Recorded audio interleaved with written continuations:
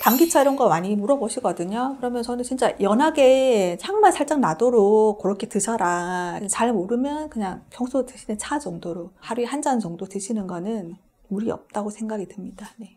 진하게 뭐 본인 직접 제조해서 드신다고 하면 좀 걱정되는 부분이긴 합니다.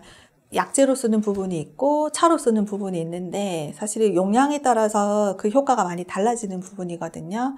왜냐하면 당기는 자궁 수축을 돕는 효과가 분명히 있는 부분이거든요. 임신 초기에 복통 설사가 있다면 유산으로 이어질 수 있기 때문에 조심하셔야 합니다.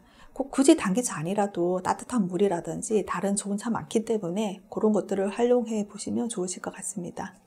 먹는 영양 제반에도 상당하실 텐데 음. 당기의 효과는 보혈이랑 활혈이라고 하는 효과가 있는데요. 환자분들 입장에서는 보하는 효과를 생각하고 드실 것 같거든요. 보혈은 이제 혈을 보하는 효과라고 보시면 되겠습니다. 그래서 뭐 생리혈이 부족하다든지 그다음에 골다공증이 있으시다든지 이런 분들은 저희가 보하는 역할로 그런 당기라는 약제를 써서 치료를 해야 되는 부분이고 활혈이라고 하는 단계의 효과는 혈을 활발하게 한다라는 의미로 보시면 되거든요. 그러면 혈액의 흐름을 좋게 해야 된다는 의미이기 때문에 예를 들면 생리통이라든지 자궁의 염증 질환이라든지 이런 것들을 치료하는 부분에 있어서는 활혈 효과를 저희가 이용하게 됩니다.